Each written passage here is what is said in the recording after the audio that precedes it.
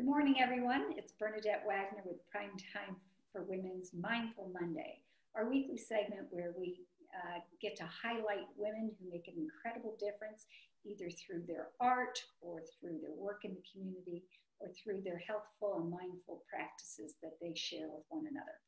So um, I'm really grateful today to have Kate Ryan on our uh, Mindful Monday segment.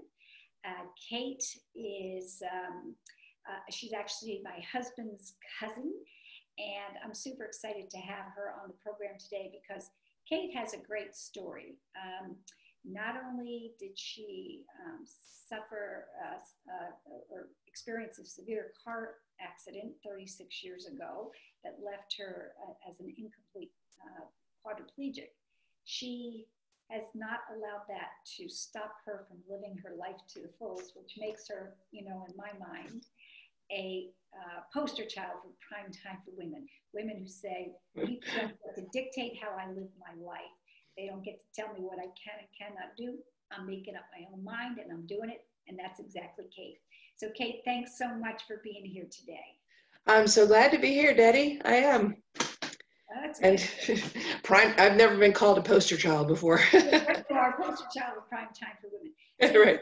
One of the things that I really love about your story is that for many people experiencing that kind of um, tragedy, that kind of loss with the power of your own body, it could have um, undone them. And because it didn't undo you, not only did it not undo you, I think it called forth some of your strongest uh, qualities, right? Is that true? Yeah, I, I knew several women when I was in the hospital that uh, they never got out of the hospital. I mean, in their minds, they never got out of the hospital and they never went back to what they were doing, um, or they didn't take care of themselves correctly and ended up passing away. So it's just, you just got to keep going every single day. And every day brings new challenges for everybody, but, you know, we just take it as we come. That's great. And so, Kate, uh, you were, uh, how old were you when you had this? 26. 26.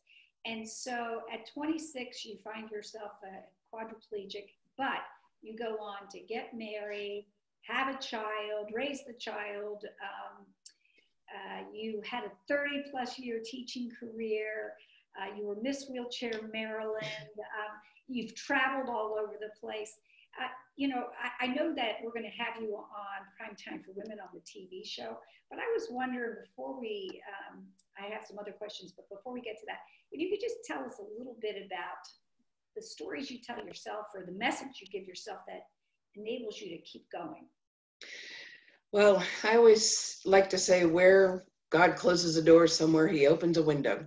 Mm-hmm. Uh, but you have to be strong enough and courageous enough to go through that window. There's many windows that can open in your life, and if you don't take the opportunity to go through those windows, you'll just stay in the same place.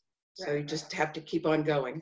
Yeah, and so um, one of the things that that uh, calls to mind for me is this idea that um, we have choices in life, we have options, and we also all have struggles. You're not saying that uh, you didn't have any struggles as a result of this. You're saying despite the struggles, you moved on. Exactly. Yeah, I definitely had a lot of struggles. I was married to my first husband when we had the accident. Then he subsequently left me, and I so I was finding myself by myself in the world. Um, I I did get a lot of counseling, and I, I always recommend to people if you can't get it, find it within your family or your friends you know, ask for help. It, it takes the strongest of us in the world to ask for help because change is probably the most difficult thing you'll do in your life. It changes for sissies, right? No, not at all. Definitely. That's great. That's great. Well, that's good advice. And um, I think it, if we want to move forward, we should, uh, I think, embrace the idea that it's the strong people who seek the help to fulfill their dreams. And that's sort of what I think you did. So I, you know, I'm just so glad you're here today. But um, I know we're going to talk a little bit more in depth when you're on the show. But today, I really wanted to highlight uh, your some of your businesses that you're coming up with. So, um, you know, Prime Time for Women, uh, our mission is to celebrate, connect, and empower women from diverse backgrounds while they explore new possibilities in the second half of life. And so we frequently highlight female entrepreneurs. And um, I know that you have a 30 plus teaching career, but all through that, you had some side hustles. And now you're still doing that, and you're also going to start your own business. Yay! Yay! Uh, yeah, that, that, was very exciting. So, um, can you uh, tell us first a little? Well, I'll just say you're incredibly artistic. You paint, you create jewelry, you draw. I think you've illustrated some books. Is that right? Um, I I draw portraits. Yeah. Oh, okay. Yeah. And um, so anyhow, I, it's just for somebody who doesn't have that artistic bent, I'm just just kind of in awe. But uh, you have at least uh, one art business. I was wondering if you could talk about that. It, one what? I'm sorry. Art. Uh, don't you have? Don't you create uh, jewelry? oh yeah, yeah. I have. Well, um, so I have um, a website on Etsy. It's called okay. Creates by Kate, with a K I and can, I can show that little uh, yeah your business card so people know what we're talking about here. Is that showing up? Mm, no. Okay, because uh, let's see. Okay, creates by Kate. Yeah, oh, there it is. Yes. Okay. So that's on that's on Etsy, okay. and um, you can see the, the four items that are on there, what I have on there right now. I have one of my wind chimes behind me. I have one of my necklaces on. Um, I'll hold up. My, my latest, my latest endeavor, which is, you can see this, it's a uh, round loom knitting. Uh, it's an Afghan for my niece who's going to be attending uh, the University of Maryland. And one of my photographs is up here behind me. So uh, just uh, th- those are the four items at the moment. Who knows what where my life, my artistic bent might take me next. But and, and also the picture on your Create by Kate is one of your photographs, right? Yes, yes, yeah. is one. It's what so, probably my favorite photograph of Sugarloaf Mountain. Just so beautiful. Yeah, and um, I'm uh, when you're uh, creating this Afghan for your niece. Uh, she's gone to University of Maryland, and uh, it's a thing for you where you create um, Afghans for, you're from a big family, for every kid that goes to college in their college colors? I've tried to, I've tried to, I started this after some of my nieces and nephews went, have already gone to college, but they, they're getting baby gifts now. Okay. So I tried to find out what college they're going to be going to and then create it in the college colors. So they, they have a college, so you can see University of Maryland, definitely, you know, Maryland colors.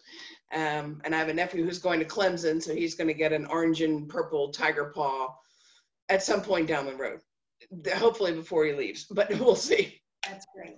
And uh, th- that's something that you can do.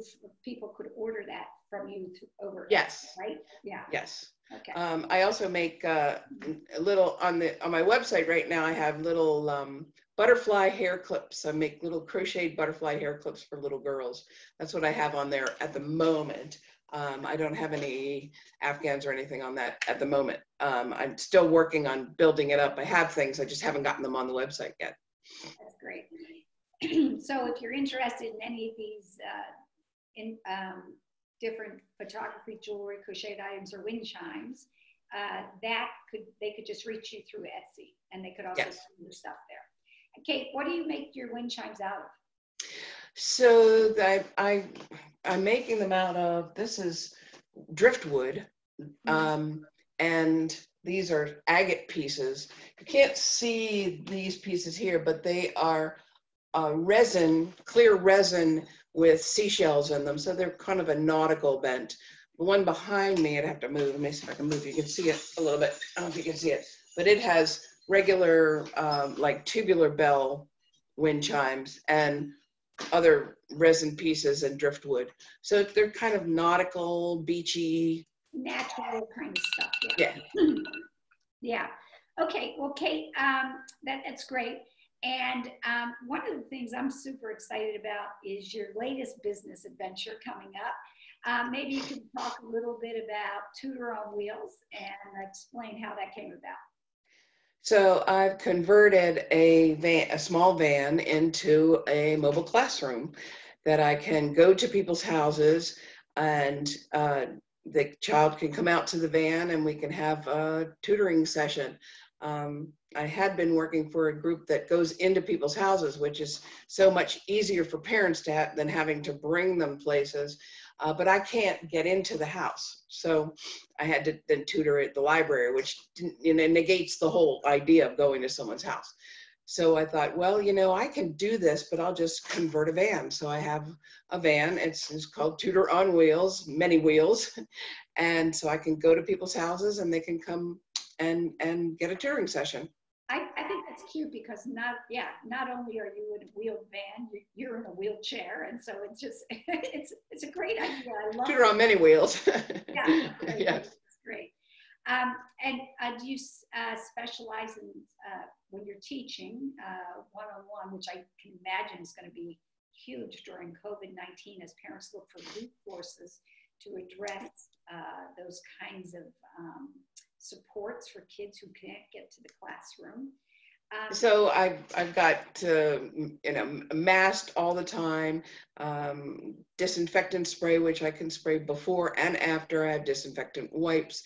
I have a cover for the back seat where the child will be sitting so that I can wash it in between.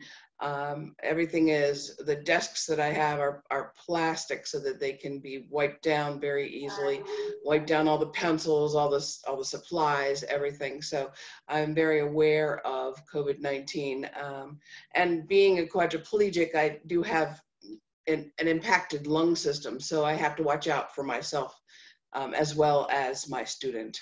Yeah, and I, I was just thinking what a resource that's going to be for parents who uh, are trying to work and also trying to get their kids to school. And if their kids sorry, a little bit louder, I can't hear you. Yeah, I said, I what a resource that is going to be for parents who are trying to work from home during uh, school, uh, just all being virtual, and how some kids just really need that person-to-person contact. A lot of kids actually. So I think this is just a, a, a great idea. Um, Kate, um, has this started yet? When will Tutor on Wheels start? I have one student so far, and um, I just wanted to also mention that I am a certified special education teacher, and I do, uh, I'm fluent in sign language, so I can do a wide variety of students. I'm certified both elementary and special ed. And, and so do you work with kids from K through five or? I can, um, I can work through high school, but don't let, don't, not in math. um, take me up about sixth grade for that. Um, I, I've worked all grade levels. So um, depending upon what the child needs, um, I would be happy to try and help, help anybody. And I know that you worked in an after school program uh, teaching kids art, uh, different forms of art. Can you talk a little bit about that?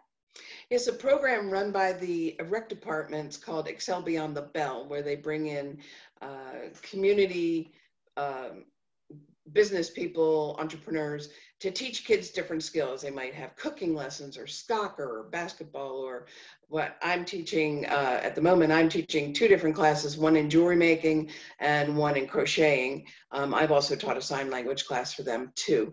So uh, it's it's a really neat program. It runs for two hours and it's free for the kids. So that's great for the parents. It's great for the kids. Great for the entrepreneur, and uh, it's a it's a wonderful program that Montgomery County Rec runs. That's great. Um, one of the reasons I wanted to bring that up is because I had asked you if there was a strong interest among uh, women, people who follow Prime Time for Women, if you would be willing to teach either virtual jewelry making class or virtual crocheting class. Is that something that you'd be open to? Oh, I would love to. If, if somebody is interested, um, I, I could give a list of supplies beforehand so that people could be ready to do this or um, I guess it, they can go back to it on YouTube and and give it. Um, but I would love to do that. Yeah, is Excel after the bell? Is that the name of it? Excel Beyond the Bell. Excel Beyond the Bell. Uh, did you work on a particular project for a couple weeks or? What I do with the kids is I teach them the skills that's necessary and then let them go. And uh, the kids are great because they get into it and then they go on YouTube and they're like, I found this and I want to make this. And I'm like, go for it, you know? And so I teach them the skills that they need um, how to crochet, how to put a piece of jewelry together, how to design a piece of jewelry. And then they go off and they create. I've had one child, my, my star people who went off and learned how to make little panda bears. And I'm like, I can't do that. How did you do that? Oh, I went on YouTube. I'm like, okay, fine. So I, I like to let their creativity then take over. That's great. Uh, one of the things I was thinking of is um, this idea if people wanted to participate in your class, if each person could uh, crochet a granny square, which is not much by itself, a large granny square. But when you put them all together, you have this incredible blanket that you can wrap and warm. And my thought would be that it's sort of like people by ourselves, we're, we're isolated, we're alone. But when we come together through Prime Time for Women, we create community.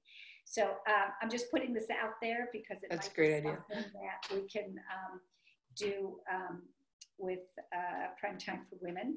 And so I will post um, that in just a few minutes after we post this video. That would okay. be great. Thanks so much. And um, I'm going to end this recording, and um, there's somebody here who wants to say hi to you. Hey, hi, Matt. How, How are you?